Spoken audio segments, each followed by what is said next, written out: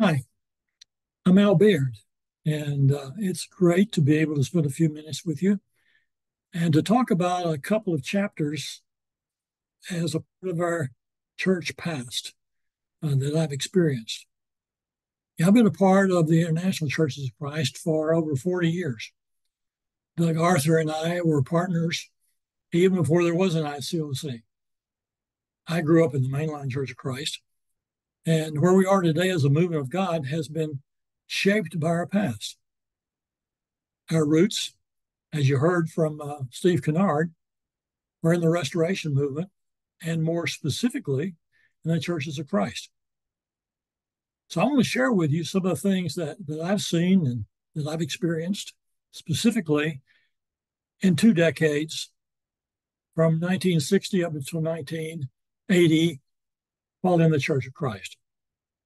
In my sharing, my hope is that you will see that God is at work in all of our lives in ways that we often don't see or understand. Sometimes looking back over a lifetime helps us understand what God is doing and He's been doing all along. You know, whoever you are and wherever you are, God has an exciting plan for you. And He wants you to be a part of taking the good news of Jesus to a very, very messed up world that desperately needs a Savior. To consider any time period in the church, I think it's important to consider what was happening in the world at that time. Some effect on the church. So I'm going to start by looking at some of the most important things that were happening in those 20 years from 1960 through 1979. Now, if I can uh, share screen here and get this going. Um,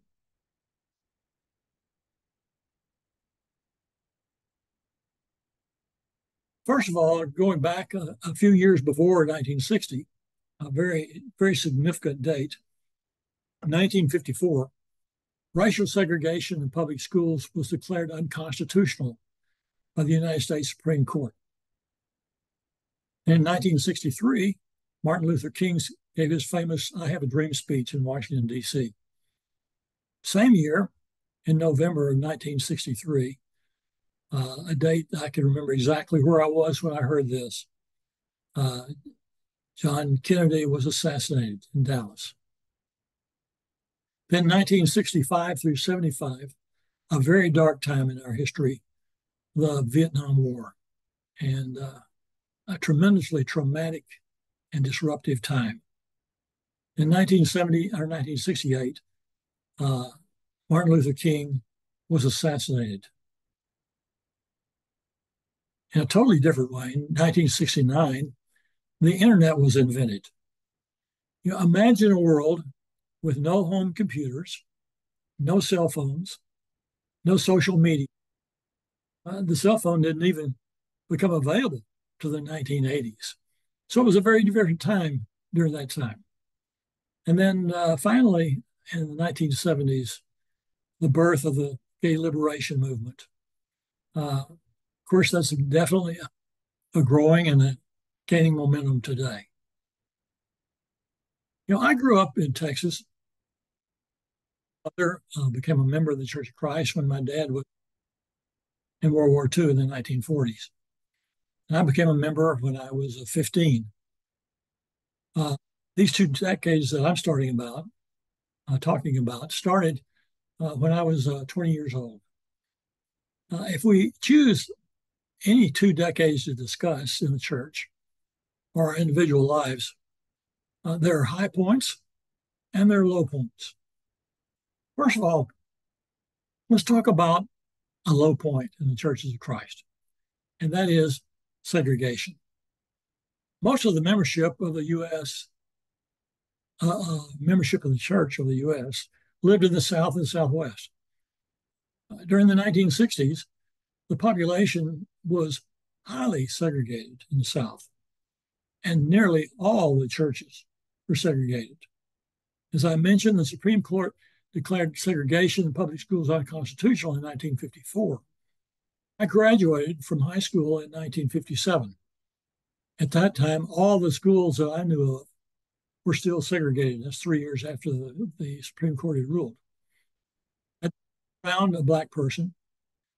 Even the Christian college that I later attended, Abilene Christian, was not integrated until my last year there in 1961. And Abilene was the first Church of Christ college to integrate among the Church of Christ colleges. Uh, even today, most churches of Christ are either predominantly black or predominantly white. Being slow to, great, to integrate is not an upward call for the church that God wants.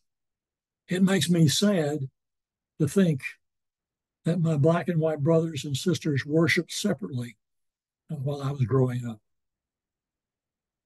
But I am uh, pl- proud that since the beginning of the ICOC in the late 1970s, it has set the pace for tearing down the walls of color, nationality, and culture.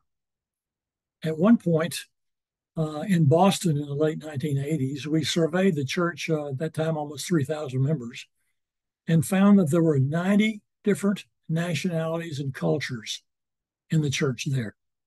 And we, of course, are, are very encouraged by this. And uh, we can take and point to this as a real strength of the church all the way through. Now let's talk about something in the churches of Christ that they did right. When members who served in World War II in countries around the world saw how little of the world had been evangelized just because they were there and experienced it, they felt like that we, we need to get the word of Jesus out.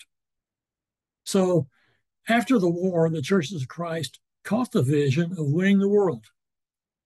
And in the decade of the 1950s, the Church of Christ became the fastest growing, or one of the fastest growing denominations in the United States, nearly doubling its size to over 2 million members. Most of the mission work was done by one husband or one husband and wife team. Uh, going to one city or even just one couple in one country. Certainly, uh, th- there were a lot of successes during this time, but that was a lonely job. And it was easy to get discouraged and to give up and to go home. Uh, then in the 1960s, a new outreach plan was conceived. Rather than spend, sending out a, a single couple, why not send out a team of people? So, an idea called the Exodus Movement was born. The idea was for a preacher or a team of preachers to travel around the churches of Christ in different congregations and recruit members until they were able to get roughly 100 or so members that would be willing to quit their jobs, sell their homes, and move to a target city. At that time, this was one of the Church of Christ publications that, that devoted one of its uh, issues just to the whole Exodus movement, the idea of what it was, what it was trying to accomplish. This, this was a cover cover of the of that magazine, and uh, one of the articles was called "Spreading Christianity by Spreading Christians," and that that of course was the idea of the whole Exodus movement. But I want to read here uh, the excerpt from from one of the recruiting articles uh, that was in this magazine. Who should go on the Exodus movement? Only those disciples with the burning conviction that Christ must be preached to everyone. Only those disciples who've been inspired by the love and compassion of God will respond to Jesus' command to go. The primary advantage is in providing a mission church with members of all walks of life teachers, businessmen, engineers, plumbers, barbers, accountants, etc. These Christians can immediately make contact with their own vocational groups that maybe may, may be forever beyond the reach of full-time preachers. This capacity to permeate the community and to achieve a broader base of community relations is one of the chief advantages of the Exodus Church. Secondly, the Exodus church begins with committed members, which means that the church will not have to devote most of its teaching energies to build a committed membership, but can move on to the process of evangelism. A family willing to sell their home, leave their friends and loved ones, relocate their children, and seek employment in another city does not need to be told the importance of stewardship or personal evangelism. Finally, the pre organized Exodus church, by its sheer force of its numbers and its faith, creates a much greater impact on its new community that could ever be imagined. A very unique idea at that time. In uh, 1968, I was just finishing my PhD degree at the University of Texas in Austin. Uh, Gloria and I had uh, two young girl, daughters, and uh, we decided that uh, when I finished my degree, we were to go on an exodus to Burlington, Massachusetts. Burlington was chosen because it was the fastest growing suburb of Boston and had lots of jobs. So about 120 of us, including our kids, moved to Burlington. And uh, here's a picture uh, of when everyone got there of, of the team. Uh, a team this size uh, to, to do a work in the city. 120 people, including children. Uh, and uh, it, it, was a very exciting time. And uh, then after two years, uh, we were able to uh, build a building and, uh, and, and, increased our advantage to reach out to the community. You know, the, the group of people and 15 year experience was a tremendous blessing for us. Let me stop this sharing here a minute. Uh, yeah, there were there were challenges that we had to work through. Uh, not the least of which was the cost of living. Uh, Gloria and I moved from University of Texas in Austin, Texas at that time. It was the lowest cost of living city in the United States for a city that size. And Boston at that time, 1968, was the highest cost of living city in the United States. So imagine the impact of uh, people that were moving, uh, all these 120 people were pretty much recruited from the South and Southwest, where the cost of living was much lower than it was in Boston. And at that time, uh, most of the wives were stay at home wives, uh, stay at home moms. Uh, but in order to make ends meet in Boston, they had to go to work. And uh, that was a serious problem because that was not what they were used to. It was not what they imagined, and the people before they got there didn't didn't realize that. And uh, so, in in spite of the difficulties, though, uh, it was a tremendous experience. And another short summing I didn't mention, though, uh, with the team, is that none of us knew what we were doing, including uh, the three preachers that were on the team uh, sure that any of the three of them had ever studied the Bible with anybody. And most of us had never studied the Bible with anybody.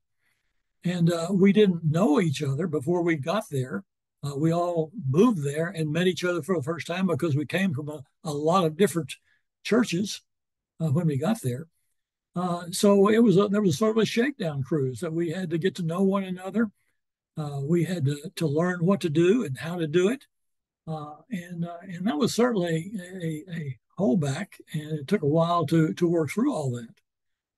But in spite of the difficulties, it was a tremendous experience. Uh, these brothers and sisters were tremendous Christians.